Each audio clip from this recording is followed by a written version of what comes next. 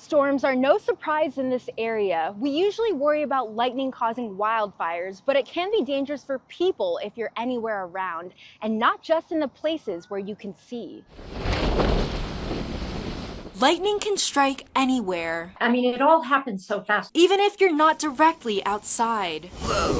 I had sort of an indirect lightning strike, but it it felt direct. That's what happened to Liz Fulton 20 years ago in her Billings home on Gregory Drive. Lightning struck the tree right in my front yard, just a few feet from the front porch. When she went to flip on her porch light to coax her cat inside, So when lightning came down through the tree, it arced back through me into the house through the switch. the impact from that strike threw her against a wall. And I kind of jumped up off the floor thinking that I would be missing an arm because that was the sensation I had was this hot, extreme heat coming through my arm. And I looked down and I was thought, well, I'm okay. Thankfully, Liz lived to tell the tale, but it's one that's more common than you think. On average, there's about 27 fatalities per year nationally due to lightning. Billings National Weather Service meteorologist John Wettenkamp says that nearly 200 injuries are reported yearly because of lightning strikes. It's important to know that if you can hear thunder, though, the thunderstorm is close enough